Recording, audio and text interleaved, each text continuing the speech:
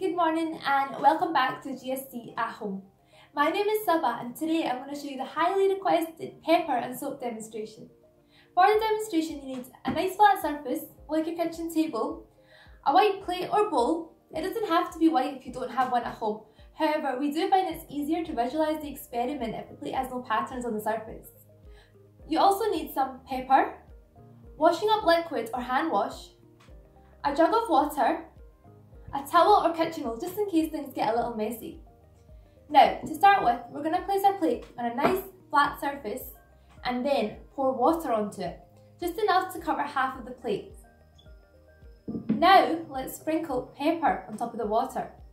Not too much, otherwise the pepper will clump together and you won't be able to visualise the experiment nicely. If we have a look, we can see that the pepper sits nicely on the surface of the water. This is because water has a high surface tension. Water molecules are strongly attracted to each other. In fact, water is quite special. It has one of the highest surface tensions of most liquids, which is why some insects can actually sit on the surface of the water, like the pond skater for example. Pepper is very light, that's why it doesn't sink to the bottom of the plate. Also, pepper is something we call hydrophobic, which means that water is not attracted to it, which is why pepper doesn't mix and dissolve in with the water. Now for the fun part. We're going to get our fingers and dip them gently onto the surface of the water and see what happens. Nothing exciting really happens.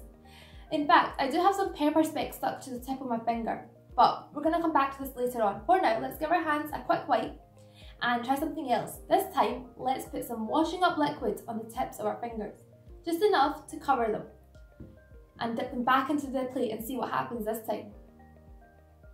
Wow, did you see that? All the pepper moved away from our fingertips right to the edges of the plate. This is because soap is something we call a surfactant.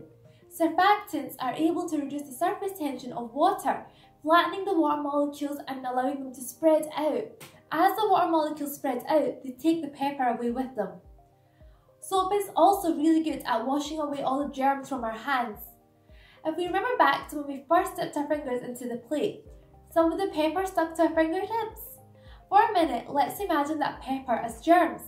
When we stuck our soapy fingers into the plate, the germs were scared away. This is because germs like to cling to the oils and grease on our hands. Sounds yucky, I know, but it's totally normal. Water can, is not enough to wash away the germs from our hands because water and oil don't like to mix. If we have a look at this jug, as I pour the oil in, you'll be able to see that the oil rises to the top and doesn't actually mix with the water. Oil and water really don't like to mix with each other.